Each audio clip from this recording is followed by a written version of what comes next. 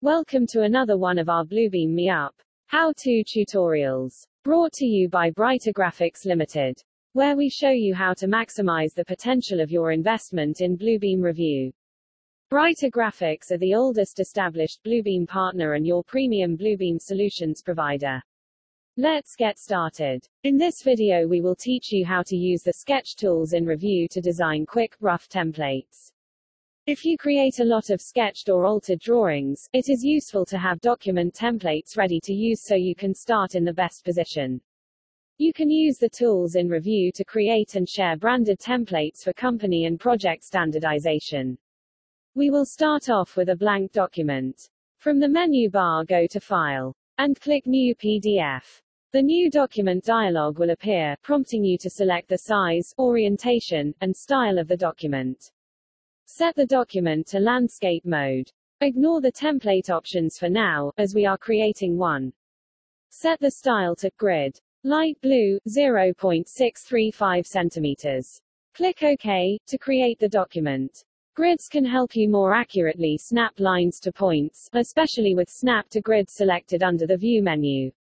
Before you do anything else, click on File, and then New PDF from Template, and select Save as Template.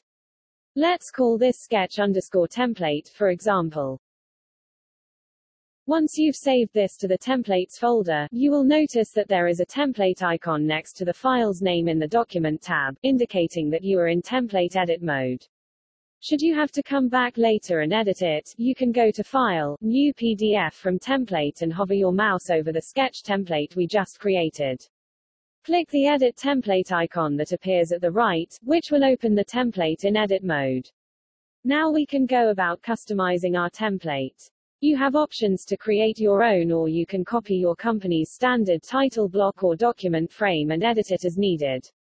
The shape and text markup tools can create an editing area and title block on the document from a blank page.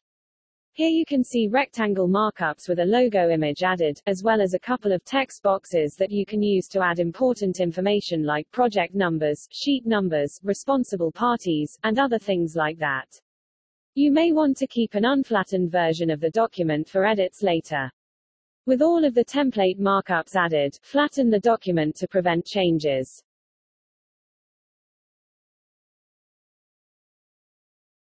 When you're satisfied, click Save, which will update the template.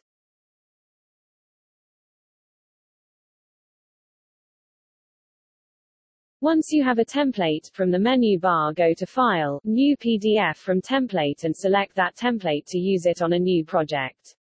Thank you for watching. We hope you found the video useful. You can visit our website, www.brightergraphics.com, for more videos in the how-to series and all things Bluebeam Revu. We at Brighter Graphics welcome your feedback to help us to improve.